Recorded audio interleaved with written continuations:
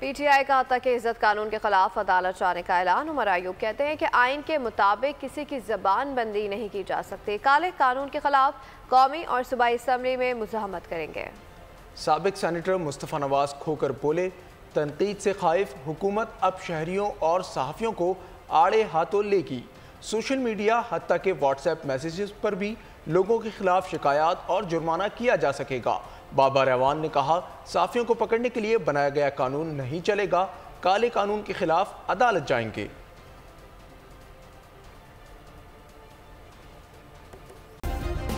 Subscribe करें और bell दबाएँ ताकि कोई खबर रह न जाए।